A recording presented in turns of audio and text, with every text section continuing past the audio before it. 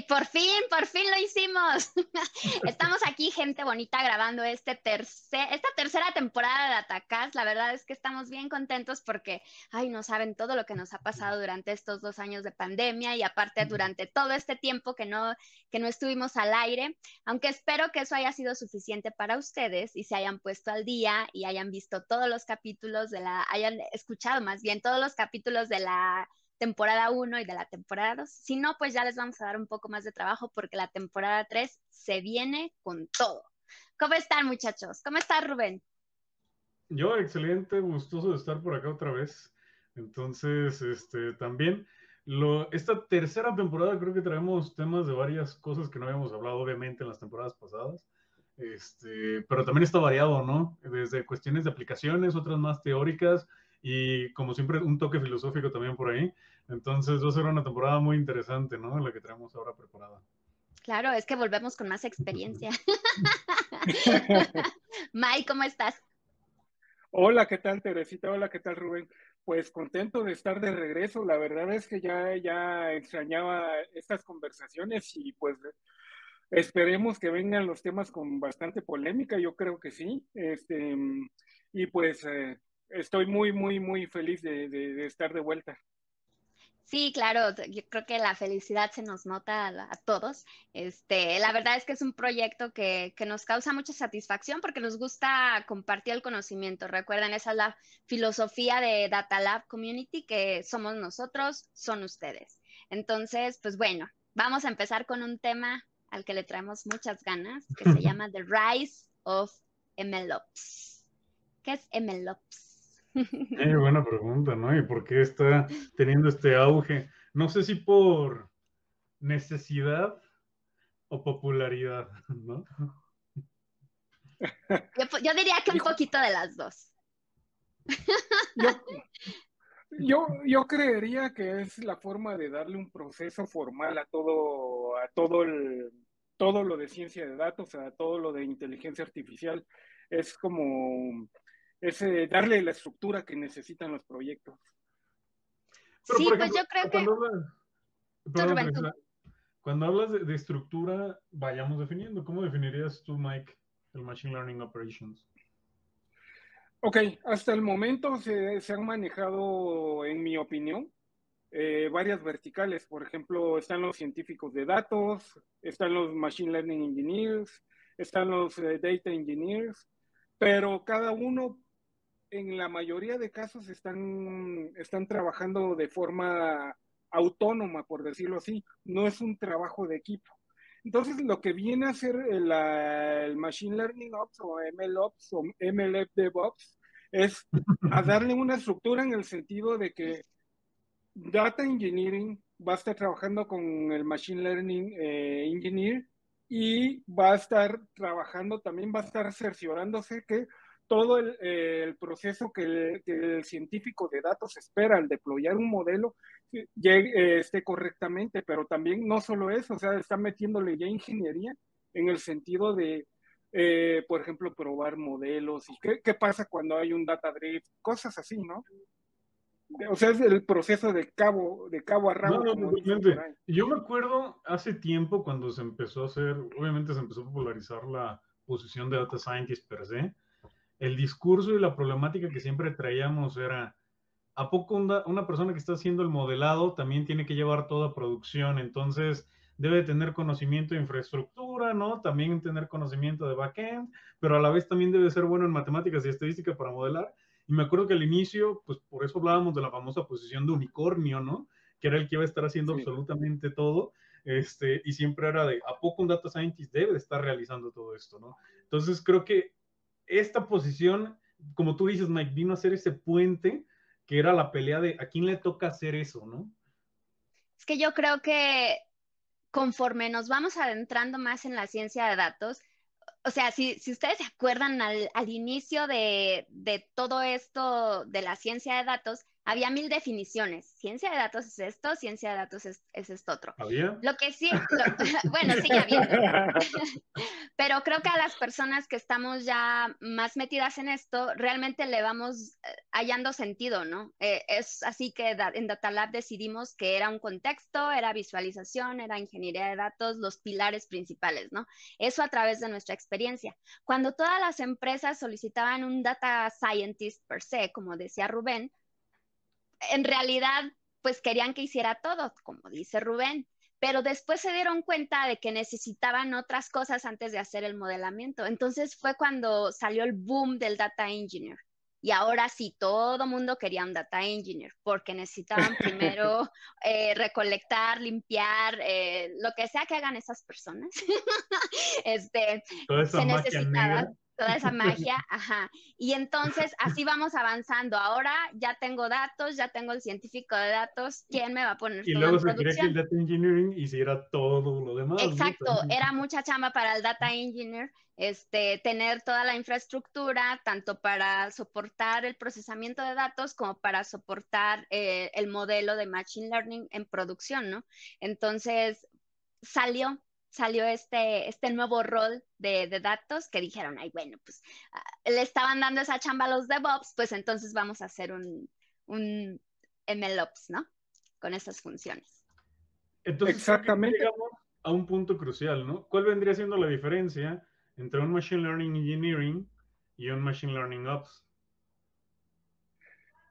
Em, es que tenemos que, tenemos que entender eh, por ejemplo, la definición más, eh, digamos, eh, a donde está yendo la industria. Hay, de hecho, en ACM y en IEEE hay SIGs especiales para Continuous Delivery.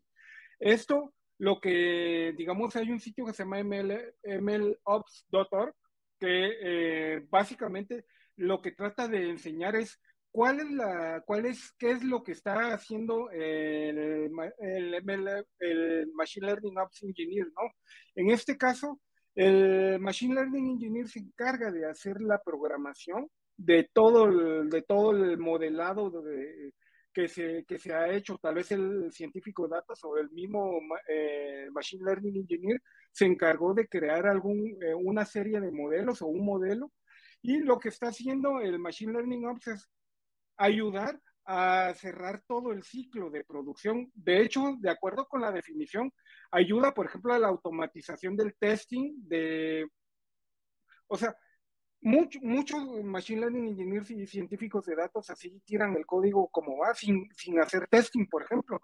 Pero el testing no solo de los modelos de testing, es el testing de software también, o sea, eso es muy importante. ¿Qué otra cosa? Por ejemplo, lo de la, eh, meter metodologías ágiles a los proyectos de Machine Learning, que la verdad es que les podrá parecer eh, un sinsentido, pero eh, los, los proyectos ágiles, tal vez no en su totalidad, pero muchas cosas, por ejemplo, los, los eh, digamos, los dailies o, cuestiones de planificación ayudan muchísimo a, a, mejorar los proyectos. Está lo del CICD, o sea, el continuous delivery. Los dailies y lo demás, Mike, creo que también ha habido una evolución, ¿no? Porque al inicio, cuando se intentaba hacer un proyecto de Machine Learning como en un esquema Scrum, ¿no?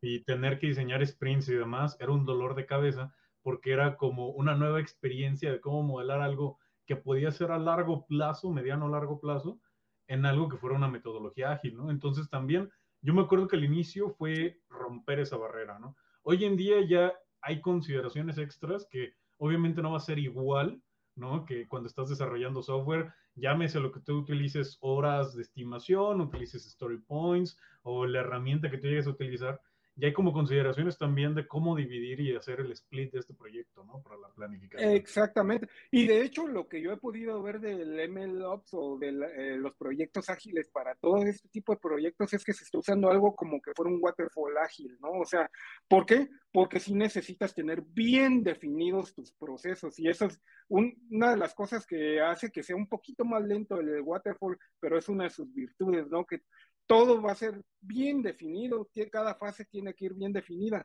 Y ahí es donde el ingeniero de datos se tiene que poner de acuerdo con el, con el Machine Learning Engineer, ¿no? Porque, porque a veces están trabajando en paralelo y la calidad de, datos y la transformación del chavo no van al mismo tiempo que el, que el model deployment o, alguna cosa de esas, ¿no? Entonces, ahora se están alineando todas las, eh, todo el ciclo. Difiero un poquito ahí, Mike. Creo que no, no, no están alineados. Yo, este, como que para mí, al menos en mi experiencia, ha sido una línea de producción continua. O sea, el tal vez el, mm, ya no sé ni cómo llamarlo, si científico de datos o machine learning engineer, podría empezar la exploración temprana de los datos, pero eso puede, puede sesgar, creo yo, después su conocimiento o sus modelos después, porque todavía no está consultando los datos totalmente, el single source of truth, que no se hace de un día para otro. Entonces, yo siento que sí hay una etapa bien definida donde el data engineer entra primero. Así, ah, precisamente, eh, eh, ese, a, ese punto iba, que con el, con, eh, el Machine Learning Ops, primero tiene que ir la, ¿qué es lo que estamos manejando? Es información, son datos. Entonces, ¿cómo van a ir en paralelo? Tiene que haber un orden y tiene que haber, primero entra toda la, por ejemplo, la gobernanza de datos, la calidad de los datos, todo, todos los pipelines de datos, antes de que, el, de que el, o sea, ¿cómo vas a trabajar con un modelo del cual medio conoces la información o que todavía no está, por ejemplo, no sé, la ingeniería características bien analizada, no sé, cositas así, y el Machine Learning Ops te permite que esté alineado, o sea, no puede haber Machine Learning eh, sí, antes data, data engineering, ¿no? Y ahí es donde, donde es, ahora sí que las cuestiones E incluso sin modelo, ¿no? Digo, aunando en eso, porque si lo ponemos como prioridad, creo que también aquí el hecho de hablar ya de data scientist, machine learning engineering, machine learning ops, eh, data engineering, alguien que tenga un startup va a decir, oye, pues yo no más... Necesito uno. ¿no? O sea, algo que yo pensaba que iba a contratar a una persona, me estás diciendo que necesito cuatro o cinco roles diferentes. Y luego no estamos hablando del seniority todavía, ¿no? Del nivel de la persona. Entonces, otra vez, ¿no? Creo que, al menos en mi punto de vista personal, una startup siempre debe de comenzar con el data engineering, ¿no? Ese, creo que es el, es, es el eslabón en la cadena primordial porque, otra vez, no puedes llegar a hacer ni un modelado, ni ningún análisis si no tienes tu pipeline de datos, ¿no? Si, si no tienes bien esa estructura, que es el, como la base sobre la cual puedes llegar a trabajar, no puedes construir lo demás, ¿no? Para mí, por ejemplo, y como lo decías, Teresita, eh, la fuente de la verdad tiene que ser, son los datos. Entonces, el ingeniero de datos es el que, el, oráculo de la información, es el que mejor va a conocer, eh, va a conocer los datos. El que puede sesgar todo, también. El que, también, sí, sí, sí. Pero, también aquí ya los métodos, por ejemplo, la gobernanza de datos, por ejemplo, la data quality, el data versioning, todo eso entra en, entra en funcionamiento. Si, si hay algún problema que, que que el, ingeniero de datos haya cometido, precisamente para eso es que se hacen ciclos y que se, y que se está haciendo un, marco de trabajo como el MLOps, ¿no? Que eh, más adelante, cuando estés eh, eh, traqueando el experimento, te vas a dar cuenta sí o sí que cuál, cuál falencia, qué falencia hay por si hay algún cambio o algo así. O sea que en conclusión, tú dirías que el MLOps es como la base de, todo el proyecto de ciencia de datos, o así entendí yo. No, no, no, no, es que el MLOps como, como framework de trabajo lo que te da es un, digamos, es una estructura. La ingeniería de datos con el manejo del modelo y el deployment. Lo que, lo que se debe de hacer o esta persona o las personas, puede ser el ingeniero de datos, el machine learning engineer, quien sea, tiene que definir un, eh, tiene que definir una infraestructura que ahora hay muchos frameworks, muchos, eh, muchos software que te pueden apoyar con todo esto. Este, pero se necesita llegar. Volvemos a lo mismo. Yo creo que parte del gobierno de datos tiene que eh, tiene que estar el ingeniero de datos, tiene que estar el, machine learning engineer, el científico de datos, alguien de, dirección, porque son los que van a definir qué es lo que queremos hacer, ¿no? Y cómo se quiere trabajar. Sí, y creo que ya estamos llegando a una, una pregunta interesante, ¿no? Que vendría siendo, ¿por qué dentro de un equipo de ciencia de datos con todos estos roles tan diferentes, todos deben de estar al tanto de cuál va a ser la infraestructura donde van a estar corriendo los modelos? Desde dónde se van a almacenar los datos y dónde se van a estar procesando, ¿no? Y qué se va a estar haciendo con la salida. Sé que no todos van a estar trabajando en todas las etapas y también no va a ser en el mismo tiempo, pero ¿por qué es importante saber desde qué tipo de base de datos se va a llegar a utilizar hasta qué cuestión de en qué tipo de nube se va a llegar a trabajar, ¿no? Digo, sabemos que hay modelos que dependiendo de la complejidad del modelo puede ser algo que corre en CPU o algo que requiere un simple GPU, bueno, no un simple GPU, ¿no? Ningún GPU es simple, Rubén. Ninguno es simple. ¿no? Pero, ni barato. Exacto. Principalmente ni barato, ¿no? O sea, porque el hecho de decir, ay, sí, yo quiero que corra en GPU porque es lo más rápido que puedo hacer para que corra en mi computadora el modelo, ¿no? Pero a lo mejor eso va a ser inviable, ¿no? Ya llevándolo a la práctica y lo único que estás haciendo tú en el diseño es aventarle un problema a la siguiente etapa, ¿no? Sí, sí, sí. Ah, esto me recuerda mucho cuando yo era backend engineer. Me tenía que poner de acuerdo con los frontends de, oye, ¿quieres un JSON o quieres un YAM? Ah, ¿Qué, qué, cuál salida quieres, no? No, un YAM, no, un XML. Perdón en audiencia, perdón. un XML. ¿Qué es lo que, que son los tipos de, de, datos que, bueno, no es un tipo de dato, que es los archivos o salidas que normalmente el backend manda y que consume el frontend, ¿no? Ya los despliega y se ve todo bonito y así. Pero eh, tiene mucho que ver ahora con este proceso que yo les decía que es línea de producción, porque también conocer en, la, en qué estructura va a trabajar el, el Machine Learning Engineer o el Data Scientist, pues me va a decir a mí, o más bien yo como Data Engineer voy a decirle, oye, ¿qué? Hay esto. Vas a trabajar aquí y los datos van así. Que es muy diferente a decirle los datos van así, así el Data Scientist me dice, ok, este, está bien, pero ¿por qué no me los mandas, no sé, no comprimidos en Parquet, ¿no? Porque ellos no saben utilizar eso normalmente, sino eh, más... Deberían. deberían, en un modo más amigable, ¿no? Por, por, así decirlo. Pero sí, la comunicación entre, entre todos los actores en el equipo de datos es fundamental, porque ahora sí como que eh, esta es la realidad. El input de uno es el output de otro y así, e, el círculo, ¿no? Entonces, si queremos lograr o llegar a ver un proyecto de Machine Learning en producción, tiene que pasar por todos lados.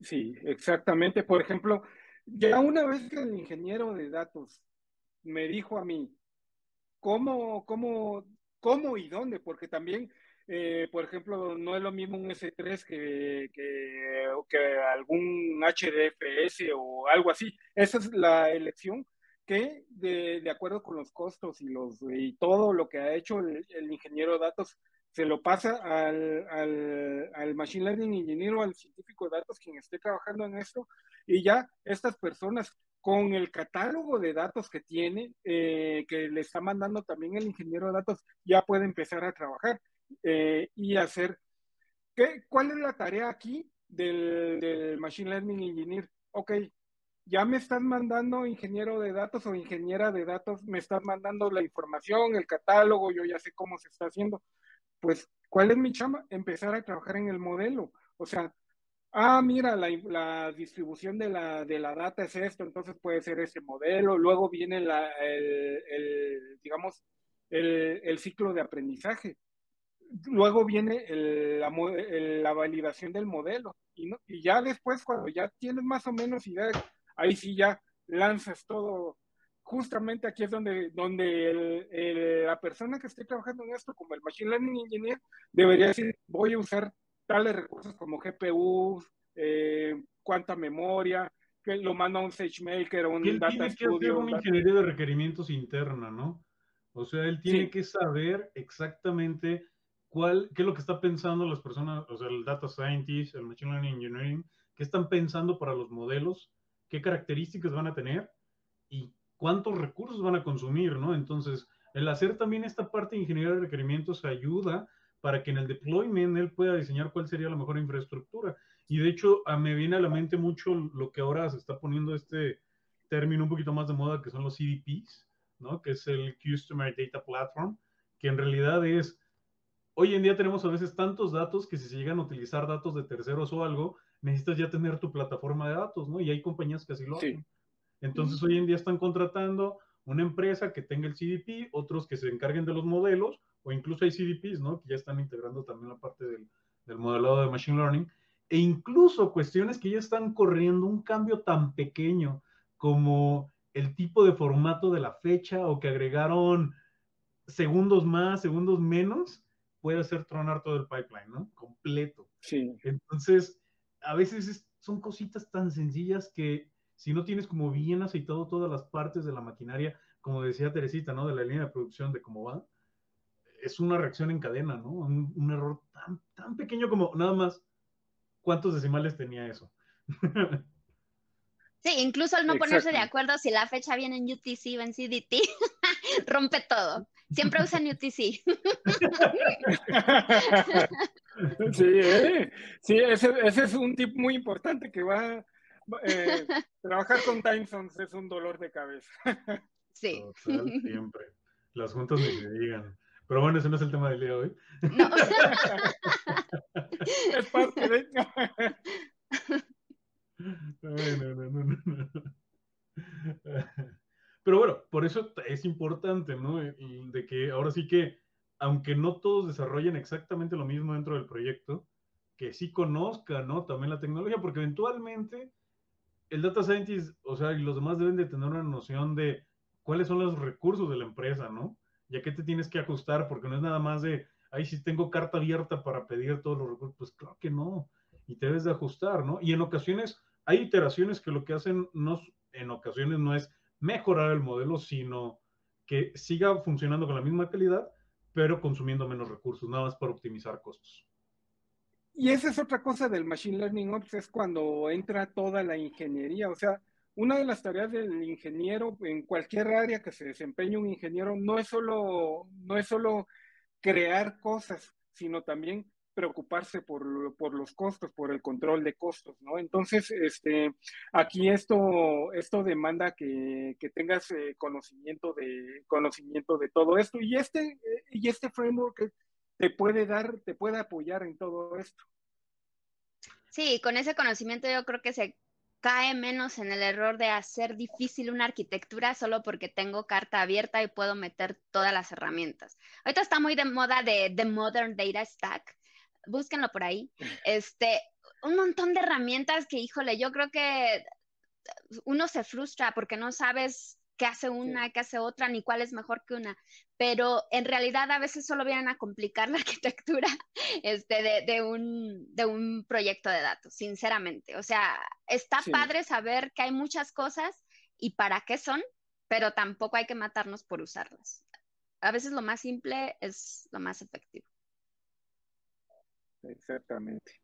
Y entonces aquí llegamos a un punto. ¿Cuáles serían las fases de un Machine Learning Ops? Ok, eh, bueno, la, parte de, datos, como decía Teresita, es eh, usualmente conocida como Data Ops, ¿no? Aquí, no sé si nos quieras eh, comentar, usualmente en un proceso de ingeniería de datos, ¿qué es todo lo que se engloba, Teresita? Bueno, principalmente se empieza como que por preguntar qué datos voy a utilizar, ¿no? Y, yo la pregunta inicial que siempre hago así, pero creo que es fundamental para saber de dónde partir es, ¿son datos en tiempo real o son datos en batch? Esa pregunta te cambia toda la arquitectura, toda. Entonces, este, empezar por ahí, simple, pero por ahí. Eh, y el proceso de ingeniería de datos no termina. a ver, denme un podcast aquí para introducir completo. una charla, una mira completa, ¿no? ingeniería de datos. Este, bueno, eh, no se termina, yo les menciono la línea de producción y que la línea de producción y la línea de producción.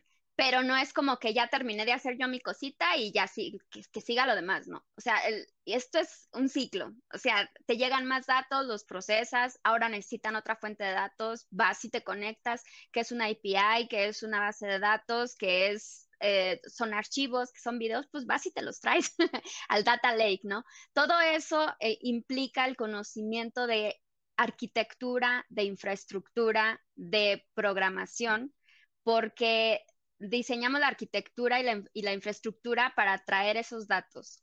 Nos interesa que estén procesados en tiempo real, nos interesa por batches, qué tantos datos son, entonces, ¿qué voy, a meter? ¿Cuál va a ser la, el, proveedor de nube que voy a utilizar? ¿Cuáles eh, herramientas de la nube voy a utilizar? Porque en Data Engineering se tiene el concepto tan erróneo de que las únicas cosas que uno utiliza de cloud es el storage que los buckets, que las bases de datos, eso es mentira. Ah, ¿no era así? No. Hay muchas herramientas que debemos que tener en cuenta que existen para poderlas utilizar, ¿no? Entonces, a eso es a lo que se refiere Mike. O sea, es, es programar, pero también es implementar, es configurar. Creo que esa es la palabra, configuraciones. Son mil configuraciones para, para poder conectar todas las piezas y, y poder tener algo tan simple, o sea, tener toda la infraestructura para poder definir ingeniería de datos, algo tan simple como agarrar datos de un lado y ponerlos a otro. Eso es ingeniería de datos. y luego sí, sí resuelve tu pregunta, Mike. Sí, sí, pero me trae más, más preguntas porque luego, luego te dicen que arquitectura, arquitectura lambda, capa y pues, no, no, no, aquí, eh, esto, esto, y ahí es donde precisamente eh, se requiere un, conocimiento muy especializado, porque ¿qué voy a, ¿cómo voy a saber yo definir cuándo usar una y cuándo usar la otra? Por eso hacía si es bacho o si es streaming o como sea, ¿no? Exactamente. Las tecnologías, hay muchas, pero no todas me sirven para lo mismo. Hay muchas que sirven para ambas cosas, ¿no? Se configuran de una manera para batch y se configuran de otra manera para, para streaming. Pero eso sí te puede cambiar absolutamente todo. No, y como tú lo dijiste, ¿no? O sea, no lo mismo batch streaming, pero también estructurado, no estructurado, imágenes, audio, texto, o sea, y empiezas el árbol de decisión a incrementarse ridículamente, ¿no? Así es. Sí, sí, sí. Y, y, esas son cuestiones de que, que, por ejemplo, probablemente un científico de datos o un machine learning engineer lo pueda intentar hacer, pero realmente, híjole, volvemos al tema de los unicornios, ¿no? Entonces, eh, aquí es donde, zapateros zapatos. Zapateros zapatos, ¿no? O sea, sabemos que los proyectos hoy en día son tan grandes que una persona sola no puede, ¿no? Entonces es parte de esta colaboración porque, digo, incluso en la última Meetup, ¿no? Que ya volvimos a las Meetup presenciales, que también hay streaming, porque quieren ver la grabación, pueden aprovechar y ver ahí el streaming en Facebook en YouTube. En YouTube Pero... Facebook. Pero digo, puntualmente, cuando estamos hablando todos, hemos hablado de problemas hasta cuestiones de sesgo que no se identifican, ¿no? Y que es una persona que debe estar full en el puro análisis. Entonces, como tú dices, el unicornio que eh, a lo mejor una persona puede llegar a un punto donde puede hacer todas las áreas, pero las horas del día no le van a alcanzar, ¿no? Entonces, siempre es bueno que alguien que esté actualizado con todas las nuevas herramientas, ¿no? De frameworks específicos para el deployment, no específicos para la parte de data engineering de los EPs, que estén el día a día, ¿no? Con todo, agarrando esa expertise, ¿no? Ahora sí que para que pueda resolver los problemas más rápido, ¿no? Este, entonces, pues el que mucho abarca poco aprieta, ¿no? Y eso resuelve muchas cosas de equipo. Por ejemplo, sería fácil decirle, no sé, que me diga el data scientist, oye, es que yo veo un patrón muy raro en estos datos. Pues yo voy y lo investigo, es mi trabajo como data engineer. ¿Por qué están viniendo todas las edades de estos alumnos en nulo, por ejemplo? pues, o sea, es colaborativo, ¿no? Incluso el, el MLOps o el data engineer, ambos podría sugerirle al data scientist en qué arquitectura puede correr sus modelos haciendo menor uso de, costos, ¿no? Por ejemplo, de dinero, o sea, que no necesite eh, tanta infraestructura eh, innecesaria para correr un modelo de machine learning. Fíjate qué bueno que mencionas eso, porque esto, esto introduce a la siguiente fase del Machine Learning Ops, que es el, el modelo, el, el, deployment y cómo, cómo, cómo servir el, el modelo, ¿no? Entonces, esto aquí, eh, la persona que vaya a estar trabajando en el modelado y en el entrenamiento y todo eso, tiene que estar, tiene que estar pendiente de cuál es la arquitectura y la, primero la arquitectura de datos y luego la, la, infraestructura con la que cuenta para entrenar. No es lo mismo que tenga un, uno de esos servidores chonchotes de NVIDIA, que tenga un, no sé, algo, el, el, de, el de, Google, ¿no? El, de, el donde puedes correr cositas así, eh, digamos, a baja escala. Entonces, todo eso eh, debe estar en, en, en, el, cuando tú estás entrenando a tu modelo, le, le, estás probando a tu modelo también y para terminar, ¿cómo vas a... Hay, hay, muchas cosas que la gente no se pone a pensar cuando ya el proyecto está eh, por salir a producción, que es, ¿cómo diablos le vas a hacer para liberar el, el, el, modelo que, el modelo que escogiste? Porque realmente un solo modelo en la vida, en la vida real tú no tienes un solo modelo, tienes varios modelos, así como finalistas, digamos, te decantas por uno. Bueno, los ensayos, ¿no? Que traen una decisión de que empiezas a divide and conquer, ¿no? Dividir el problema. Ah, exacto. modelos para dependiendo de cómo se van comportando los datos, ¿no? O los casos. Y tú empezaste ya a hablar ahora sí del model deployment, ¿no? O sea, ya hice mi modelo, me funcionó bien en mi notebook, en mi Jupyter Notebook, ¿no? Localmente ¿qué sigue después, no? O sea, ¿cómo demonios eso va a llegar a que alguien lo llegue a utilizar desde la otra parte del mundo, ¿no? En el Exactamente. Y aquí viene otra fase, o sea, puede que sea un microservicio o un servicio web, de alguna manera tienes que ser, o sea, tienes que poner la interfaz de cómo vas a deployar, o sea, imagínate que estás haciendo un modelo de, clasificación, por ejemplo, pones la foto o lo que quieras clasificar aquí, ¿cuál va a ser la, la interfaz de usuario? Y eso es, pocas veces se piensa en esto. Y eso es parte del, del que te, que te obliga a tener esto desde, desde el principio, desde, desde la, eh, desde el inception, como dicen, ¿no? De, de, todo el proyecto, de toda la planificación del proyecto, tienes que, tienes que tener en mente, puede ser hasta algo tan sencillo como un, no sé, un Django con con, con, tu modelito Machine Learning como backend o algo así, ¿no? Eso depende de quién lo vaya a estar usando y de su experiencia, pero de que, lo tienes claro, que... ¿no? ¿Cuántas veces va a estar siendo llamado ese modelo? ¿No? ¿Por cuánta gente? Por, por ejemplo.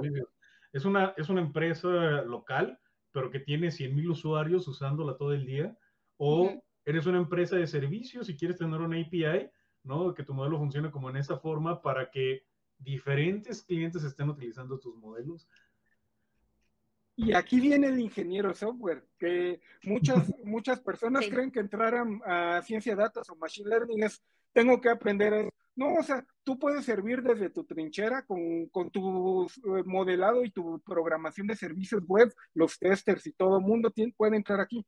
¿Qué pasa? Que vamos a escalar nuestro servicio geográficamente.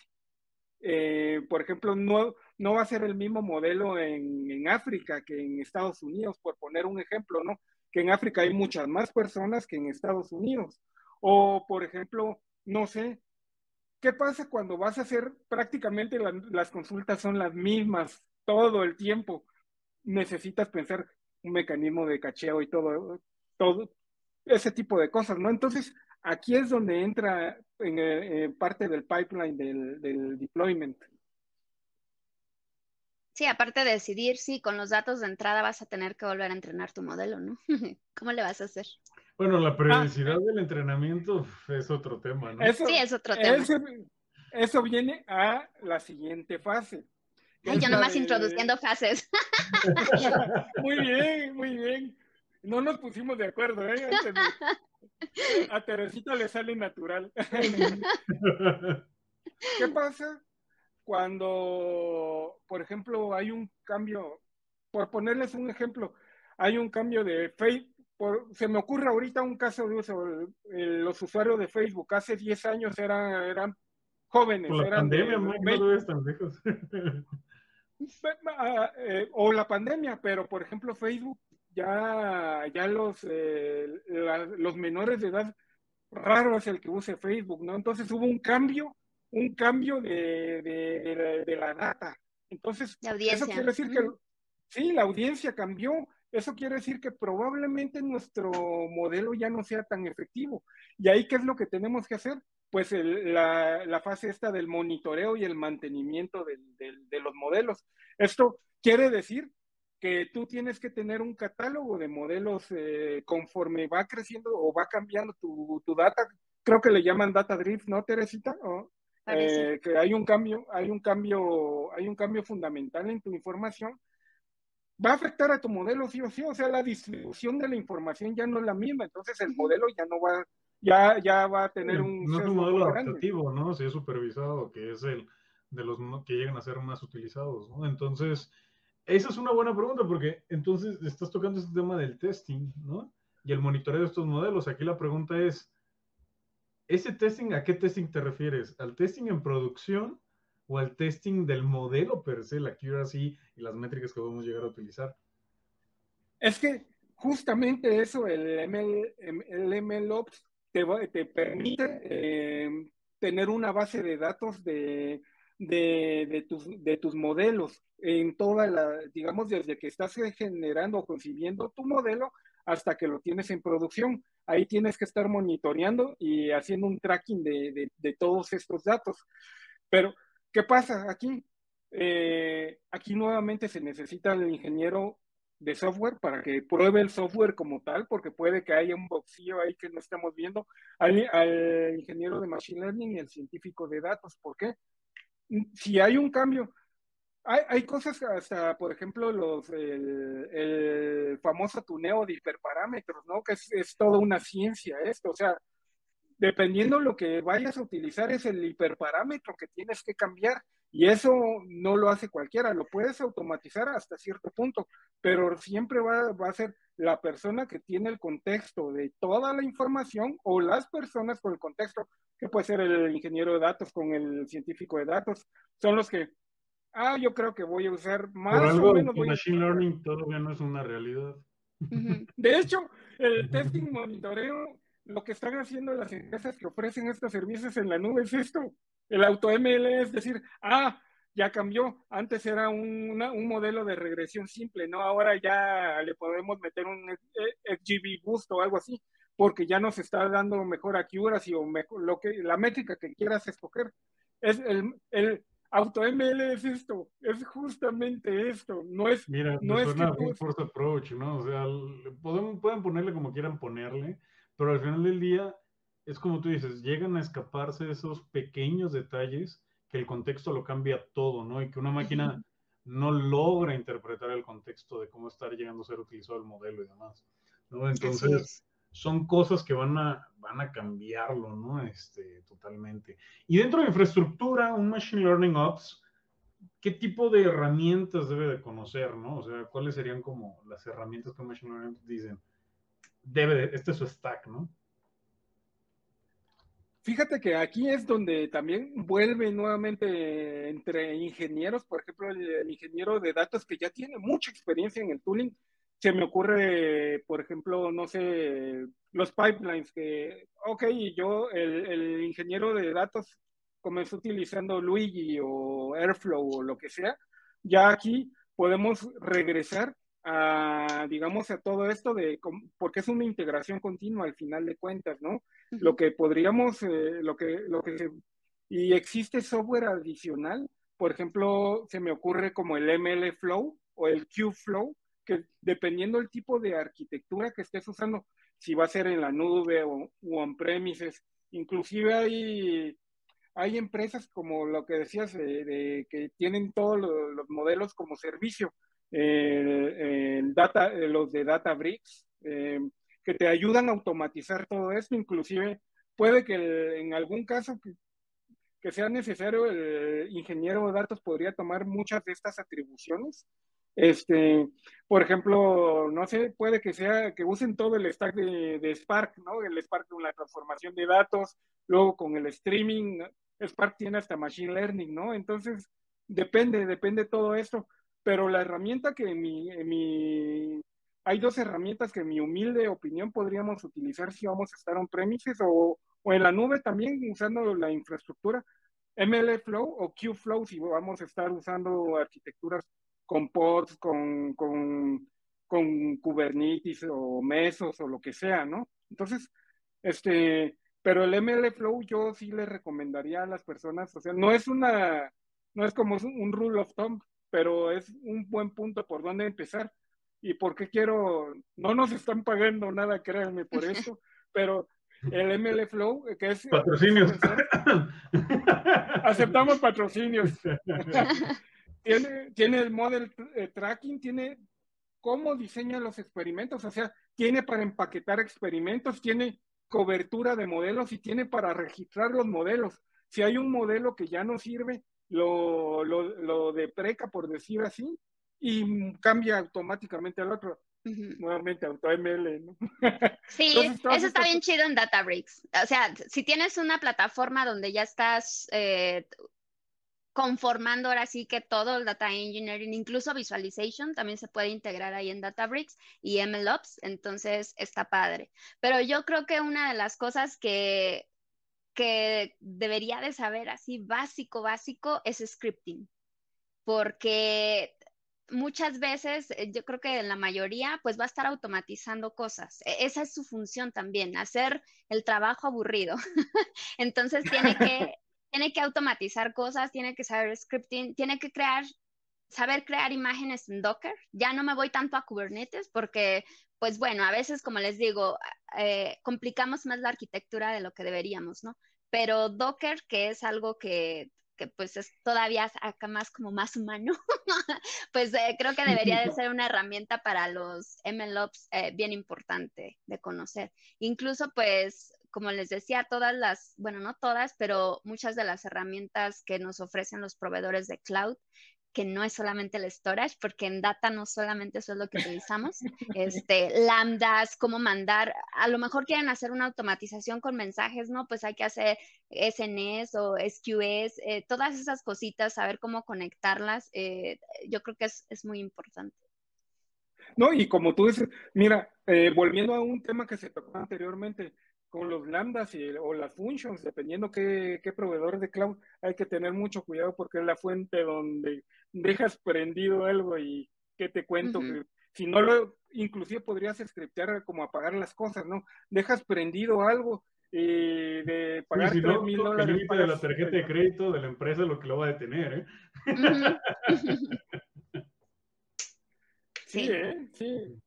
Entonces, eh, el scripteo, y esto se los recomiendo a las personas, por ejemplo, economistas o sociólogos o psicólogos, gente que no viene de, un área de, digamos, de donde se topen con ciencias de la computación, es algo que precisamente adolecen. Ya tenemos un, ya tenemos un podcast anterior de que eh, ponía, eh, pusimos el semestre perdido de ciencias de la computación, que se echen un clavado porque muchas de estas personas son buenas para modelado, pero quieren hacer algo más. Por ejemplo, con el software a veces hacen, lo ve, lo revisa alguien, hace un peer review, alguien de ciencias de la computación, el, el código que generaron, o digamos están usando hasta, no sé, una complejidad, están usando loop dentro de loop, dentro de loop, dentro de loop, con data que es gigantesca por default.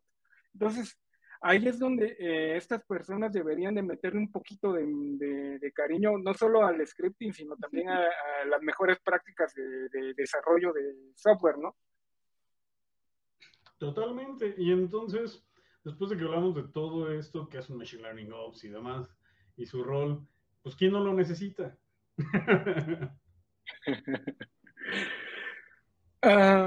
¿Por dónde comenzar? Eh, es más, yo creo que podría perfilar a la empresa o persona que no necesita un MLOps. Es, eh, yo creo que es la persona que, quiere gastar el dinero de más. que, que sí se pueden llevar todos estos procesos a cabo sin ningún problema, sin MLOps o sin un ingeniero de datos, pero van a tener unos problemas tremendos, van a tener sesgos. Entonces, yo creo que el MLOps actualmente, al día de hoy, por todo lo que hemos conversado, es el eslabón entre todos los demás, eh, entre todos los demás equipos, ¿no? O sea, no necesitamos que haya personas especialistas en todo, porque no lo hay. Podría haber algún generalista que le mueva un poquito aquí, un poquito allá, pero que sea especialista en algo. Entonces, este, se necesita, si no puedes contratarlo, como decía eh, personas, como decía Teresita, tienes un Databricks que te puede ayudar, pero no creas que te vas a salvar de, gastar más ni menos y vas a mejorar tus modelos de producción, ¿no? Tu, tu, deployment, tus modelos, tus clasificaciones, lo que sea, van a, van a mejorar simplemente porque le están metiendo ingeniería a esto. Yo creo que es un trade-off. Hay personas que prefieren gastar en plataformas o en frameworks porque hay cosas que ya nada más es un siguiente, siguiente, siguiente y te configura un auto MLOps, por ejemplo. Databricks es uno de ellos. Este, y lo puede, y lo puede hacer este, pues una persona que está trabajando con datos, digamos el data engineer. Eh, y hay otras personas, eh, empresas que sí creen que vale la pena contratar un, un MLOps y está bien, o sea, como dice Mike es, el eslaboncito que va uniendo todo. Sin embargo, yo creo que como en todo proyecto, hay que evaluar la, complejidad del mismo y hay que evaluar qué tan grande es el proyecto. Porque yo sigo pensando que teniendo analistas, teniendo machine learning engineers, teniendo data engineers, puedes sacar un proyecto eh, decente de, de, datos. ¿Por qué? Porque el data engineer, si ustedes ven la definición de MLOps, siempre se van a encontrar que es una intersección entre data engineering y MLOps.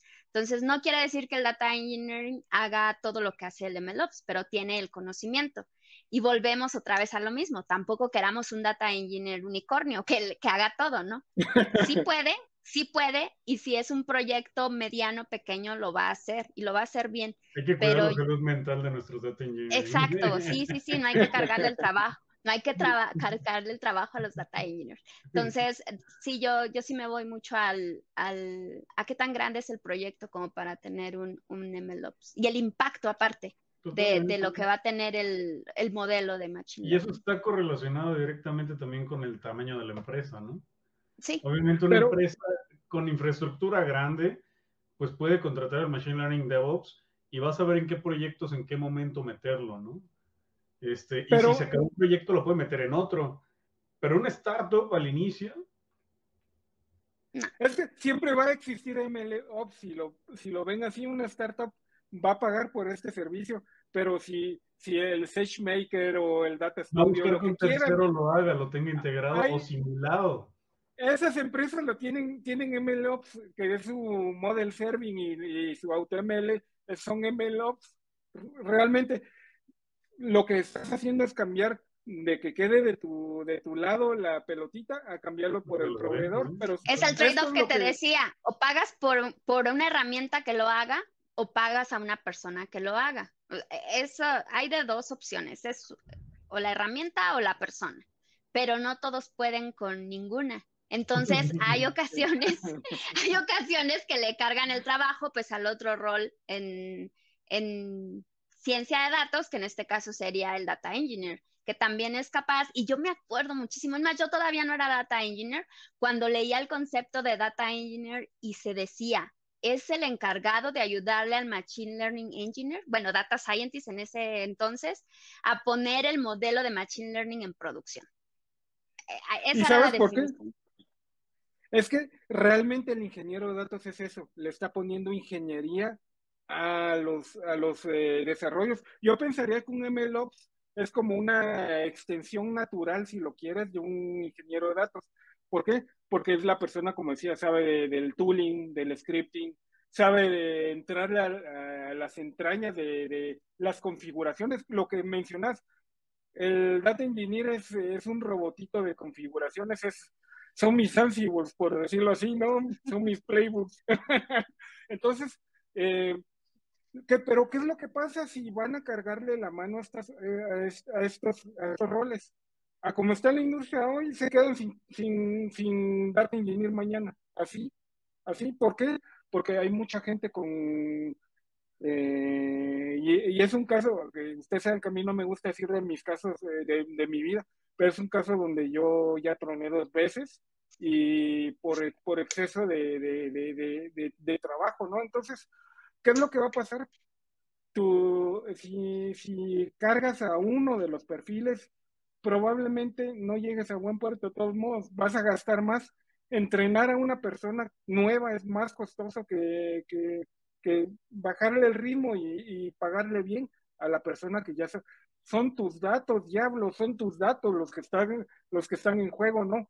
Tus proyecciones, por ejemplo, no sé, eh, por ponerles un ejemplo ahorita, FEMSA, que está creciendo FEMSA Digital o, Liverpool, que son los que están usando todo esto de, de manera excepcional. ¿Qué pasa si se les van las personas que crearon los modelos o los que manejan los datos, va a ser costosísimo para ellos. ¿Por qué? Porque el conocimiento que tú ya tienes y si tú creaste la tecnología o el stack, eh, configuraste el stack, va a ser muy difícil. Eh, y con documentación es difícil, sin documentación peor. Yo creo que esto nos da para un tema. Por todo lo que dijiste, Mike, saco como tres temas de ahí. ¿por qué no contratar un junior? Que dijiste, cuesta más entrenar a una persona que pagarle a una persona que ya sabe. bueno, de ahí sale eso, ¿no? Por ejemplo. Y otra, el, el, el, burnout, del que ya también tuvimos una plática, pero a lo mejor no la enfocamos específicamente a roles de datos, sino más bien pues, al burnout en general. Y otro que siempre decías tú, se va la gente, pero no sé si es la suerte de las empresas o la necesidad de la gente, pero siempre hay quien te cubra esas vacantes. O sea, siempre hay. Aunque se vaya una por burnout, llega otra. O sea, la empresa no pierde. Así, ah, te vas, adiós. Ya tienen la otra, ¿no? Pero como digo, ese es otro tema. La, rotación es otro tema, porque sí, sí, sí, eh, creo, que llegamos a un nivel. Mientras la rotación siguen contratando, por ejemplo, juniors y quemándolos al inicio con que debes de hacer esto y el pobre dice, pues, ¿cómo lo voy a hacer si no tengo ni nada más mínima idea? Estás quemando, ¿no? Ah, Obviamente, conforme va subiendo el nivel de, de la posición, de la complejidad y de los skills necesarios, si hay unas posiciones que quedan completamente solas porque no hay gente, ¿no? Para llenarlas. Y entonces siguen quemando las empresas a, no sé, a los senior data scientists. Ellos se van porque afortunadamente también hay ahorita mucha oferta, ¿no? Entonces, a eso me refería hay mucha oferta que también no solamente las empresas ya no sufren tanto, ¿no? Sino que también nosotros tenemos ya más opciones de decir, ah, sí, me estás quemando, ¿no? O sea, estamos hablando ahora sí de cuestiones como el burnout de ponte la playera, ¿no? Aquí están las pizzas, y en vez de seguir como con esas tonterías, es decir, pues me voy a un lugar donde me aprecien mejor, donde tenga mejor estructura, donde no tenga que hacer un data engineering también el trabajo de machine learning ops, ¿no? O sea, que tengan ahora y, y hay una equipo hay una cosa que está pasando, si hay, si hay juniors, hay muchos juniors, eh, pero hay de dos tipos de juniors. El que la persona que ha estudiado, no, olvidémonos, de, olvidémonos de, educación formal universitaria, pero se ha metido, por ejemplo, a los cursos de, del MIT, ¿no? Del micromaster este del MIT, que ha estudiado estadística por su cuenta. La, en realidad es una educación formal. Este tipo de juniors pueden aportar mucho, pero y, eso está pasando no solo en esta área, sino en la industria de ingeniería de software. Hay mucho junior y no los están contratando. ¿Por qué creen que pasa eso? En tres meses, ¿ustedes creen que pueden aprender a, hacer todo esto que hemos mencionado? En seis meses. No, no, no, no, no. Y es que, digo, también aquí es, es el balance, ¿no? Creo que una empresa que tiene 90% juniors y no tiene ni mid ni seniors, es un red flag, ¿no? O sea, no puedes mantener una arquitectura de ese sistema.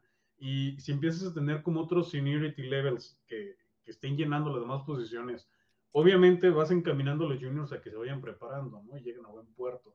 Que tengan con quién asesorarse cuando toparon contra pared, eh, a quién le pueden pedir ayuda, ¿no? Y hablando también de eso, me viene a la mente la pregunta de cuál vendría siendo el camino de un Machine Learning Ops, ¿no? Porque ya hemos llegado a hablar mucho de gente de matemáticas que se quiere mover a ciencia de datos, ¿no? Y gente de computación que hay que estudiar matemáticas para moverse a ciencia de datos. Entonces, una persona que está en desarrollo de software o que es backend, nada más metiéndose a un curso de tres meses pudiera ser un Machine Learning Ops.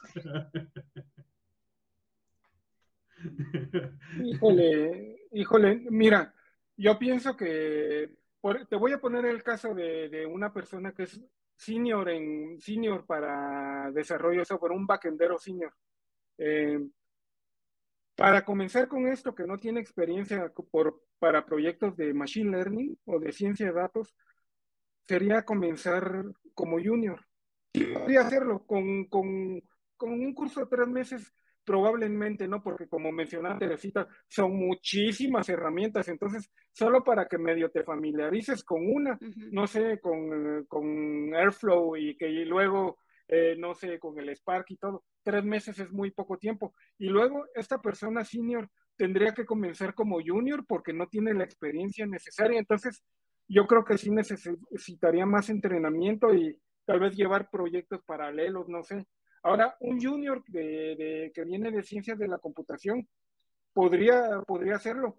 Un ingeniero de datos para mí es como la, la, eh, la progresión natural, porque el ingeniero de datos lo que tendría que aprender es, uh, digamos, hablar el lenguaje que están utilizando los Machine Learning Engineers o los científicos de datos, cuando están entrenando el modelo, cuando lo van a servir, el monitoring y maintenance del, del, de los datos, yo creo que el ingeniero de datos sería un perfecto perfil con una especialización adicional. Alguien que viene de ciencias de la computación, por lo mismo que desde, en teoría, porque también he visto casos últimamente recién egresados, que eso es para otro, otro podcast. Sí, sí, sí. Eh, que no pueden usar ni siquiera la consola, ¿no? Y todas estas cosas sí o sí necesitan y hay otros casos, hay otros casos en los que el backend es un todólogo y él seteó la infraestructura del proyecto donde está trabajando, por eso conoce cómo funciona AWS, por eso conoce cómo funciona GCP y por path natural también se podría ir a ambos, tanto a Data Engineer, Engineering o a MLOps. Sin embargo, yo lo que siempre pienso de estos dos roles, y no es para darle para abajo a nadie, pero es muy difícil estudiarlos. Y por eso se los comento para que no se frustren, porque son muchas herramientas las que hay que tener en mente, pero no necesariamente tenemos que saber cómo funcionan. Es, es mejor saber para qué son, en qué casos se pueden utilizar, a decir yo ya lo he utilizado, porque no nos la van a creer. Es muy difícil que, que en un curso o en, incluso para crear un portfolio propio, nosotros podamos utilizar juntos, no sé, voy a decir una tontería, Kinesis con algo de RDS, ¿no? No puedo. Podría hacerlo muy, muy sencillo, no a la escala de un gran sí, una proyecto. Cosa es un demo, ¿no? un Exacto, sí, sí, sí. Ajá, pero si sé cuándo usar Kinesis, si sé cuándo utilizar algo de RDS, perfectamente los voy a poder identificar en una arquitectura existente o voy a poder proponerlos para crear una arquitectura. Entonces, esto hablando de cosas de la nube, ¿no? Que, es difícil, por eso mucha gente a mí me ha dicho, yo me frustro porque no sé cómo aprender cloud. o sea, ¿cómo aprendo cloud? Sí, es, difícil. O sea, sí, ya los proveedores te dan una cuenta gratis, ¿no? Los tres principales, Azure, eh, GCP y AWS pero muchas veces, o sea, ves toda la ahí consola y dices, ¿y qué es esto? ¿Para qué es esto? ¿Para qué es esto? No, no es, no es tan straightforward, no es tan, no es tan sencillo, así es que no se sientan mal para nada. Y, justo por eso decía yo que alguien que es muy senior, por ejemplo, en backend, se, se sentiría como un junior y sería un junior para los, digamos, cuando cuando entra un proyecto de estos, porque tendría conocimiento y sabría... de su día a día, ¿no? Y de la zona de confort. Obviamente va a llegar a pasar eso, ¿no? O sea, es Yo también como alguien, alguien, de, no sé, que está dedicado solamente a, a imágenes, modelo Natural Language Processing. Claro que hay matemáticas y modelos muy similares, pero hay cosas interesantes que cambian, ¿no? De técnicas de data augmentation. Sí, la clasificación, los transformers pueden ser la misma matemática, pero llega a cambiar. Y así llega a pasar igual en todas las áreas, ¿no? Y el famoso seniority o el nivel, ¿no? De experiencia no se traduce a veces en cuántas herramientas usas, ¿no? Sino cuántos años llevas y qué proyectos has hecho, independientemente de si la tecnología sigue existiendo al día de hoy o no. Sí, erróneamente creo que muchas veces en el CV, o sea, van así como de, ah, aquí dice que eres backend, backend, backend, ¿cómo te voy a contratar como data engineer? o cómo te voy a contratar como el MLOps, ¿no? Pero ahí depende mucho de cómo redacten la parte donde fueron backend. ¿Qué hiciste cuando eras backend? O sea, sí utilicé la nube, yo, yo seteé la base de datos. Entonces, fíjate que no tengo el título como tal de MLOps o de, de, Data Engineer o cualquier otro, pero tengo el conocimiento porque lo puse en práctica de esta manera. O sea, ese es un tip para quienes quieran hacer como un cambio de carrera. Eso es lo que pueden hacer cuando no se puede echar más mentiras, ¿no? Porque tampoco está, bien echar mentiras. No, no lo hagan. Y también es perfectamente válido bajar el seniority. Yo lo hice. O sea, si, si, realmente de algo te apasiona, eh, pues ve por él y no importa, o sea, el señority es una palabra, tú, el conocimiento es tuyo y si lo compartes con mucho Discrepo. discrepo, discrepo de, lo, que dices. ¿Por qué? Porque bajarte de nivel puede ser que salarialmente también tengas un impacto muy, muy grande. Ah, no, eh, o sea, eso es un hecho. Eso es un hecho que va a haber un impacto, pero si tú quieres hacer algo y si estás en las en la ah, posibilidad de hacerlo, o sea, no, no, no estás haciendo el cambio, ¿no? De perfil. estás haciendo sí, y no, no te vas a quedar ahí para siempre, o sea, ya hay posiciones más arriba y si tú estás, tienes la convicción de que eso es lo que te gusta y lo que quieres hacer forever, o al menos por, por algún tiempo, pues le vas a echar ganas y vas a salir de ahí. O sea, yo, esto más que nada lo digo porque esto también es frustrante, o sea, nos han comentado en la comunidad que ya tienen cierto nivel en algún lado y, pues, oye, bajarte otra vez porque quieres hacer ahora data science. Y, es el escenario que están platicando, ¿no? O sea, nada más como para tenerlo claro. Un backend que ya era un senior y se quiere mover a hacer data engineering, machine learning ops, ahí es donde va a perder el nivel del seniority, ¿no? Por esa es nueva área. Entonces. Es una nueva área, sí. Obviamente los cursos que hay, nosotros, digo, siempre hacemos broma con los cursos de tres meses, porque pues no, sustituyen la experiencia, ¿no? Obviamente te pueden enseñar nuevas herramientas y, bajo su justa medida te pueden ayudar en práctica a conocer nuevas herramientas, nuevas tecnologías hasta ahí, ¿no?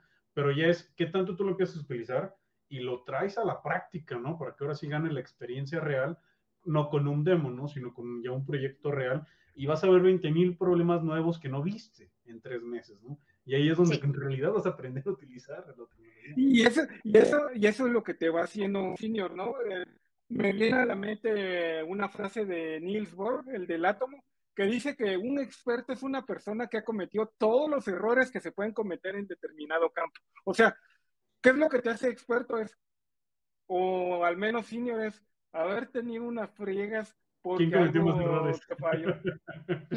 pues sí, ya, de hecho, si te das cuenta, es como una basecita de datos. Me está fallando esto. Ah, según mi experiencia, tu modelo mental te dice, puede ir por aquí, no, aunque sea un educated guess, pero podría ir por ahí. Sí, aparte, digo, si, si seguimos con este ejemplo, porque es bien común, eh, o sea, su seniority se, les pueden quitar el nivel, pero no les quitan el conocimiento. Era lo que decía Mike, por ejemplo cuando ya deployan un modelo y que, y que entonces ahora sí se necesita la interfaz, entra el conocimiento del, software engineer y tú lo tienes. O sea, tú, tú, ya tienes ese conocimiento porque en una vida pasada ya fuiste software engineer. Entonces, además de aportar lo que, lo que debes para tu posición que estás teniendo, tienes el conocimiento para aportar en otras áreas y eso también es bien importante. Por todo ello, y porque queremos que haya más MLOps, Mike nos tiene una recomendación. Sí, este libro es, eh, de hecho, se lo recomiendo, lo tengo aquí en mi mano, se llama Practical MLOps. Hay muchísimos en el mercado, pero si hay uno que pueda considerarlo como de los, de los, de los mejores, es, ese, es este libro, Practical MLOps.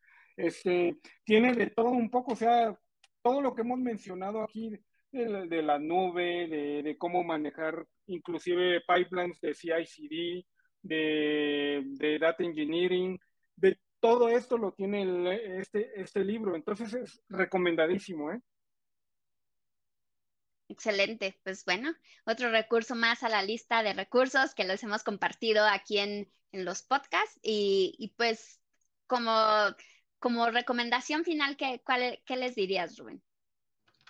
Bueno, primero que nada, creo que estamos viendo cómo está madurando más el desarrollo de los equipos de ciencia de datos y la definición de los perfiles y cómo colaborar dentro de un equipo para llevar estos proyectos. Ese es el reflejo, ¿no? De estas posiciones de Machine Learning Ops. Entonces, lo único que hace es esas cosas que antes eran tan ambiguas que tenían que poner una lista unicornio, ¿no? De las posiciones, hoy en día ya se está dividiendo, ¿no? Entonces, creo que eso nada más habla de la madurez que se está tomando en el área. Es algo que nos conviene porque ahora sí que estamos atacando desde el punto de vista técnico de ingeniería de software, desde el punto técnico del modelado, pero también en cuestiones ya, cuestiones éticas de los modelos, el hecho de que estén todas las personas especializadas en cada área ayuda, ¿no? A que sea un proyecto más integral. ¿Tú qué piensas, Mike? ¿Qué les dirías? Que se dejen llevar por, los procesos de ingeniería, le hagan caso a su amigo el ingeniero. el, el, MLOps lo que trata es de facilitarnos la vida a todos los que estamos eh, o aspiramos a estar eh, trabajando en estas áreas. Y pues eh, es, un, es un trabajo de equipo, no es de una sola persona. Tal vez el que maneje las herramientas de MLOps sea la, sea el que, el que lleve la batuta, pero todos tienen algo que aportar y mucho, ¿eh? Claro que sí. Recuerden que la ciencia de datos y este concepto no cambia, es multidisciplinaria. Entonces, eso es y seguirá siendo. Y no tengan miedo a cambiar de, de path. Este, la verdad es que al principio puede ser difícil, pero siempre sigan a, me voy a poner romántica, siempre sigan a su corazón y hagan lo que les gusta, lo que les marque el instinto. Entonces, van a tener nuestro apoyo en cuanto a datos se refiere. El equipo de, de Data Lab Community, eh, tanto el staff como la comunidad en el grupo de Facebook, siempre está apoyando con todas las personas que, que tienen algún tipo de dudas. Y pues... Que de hecho, aprovechando, el grupo de algoritmos ya se está reactivando también todo post pandemia, ya estamos regresando a las actividades.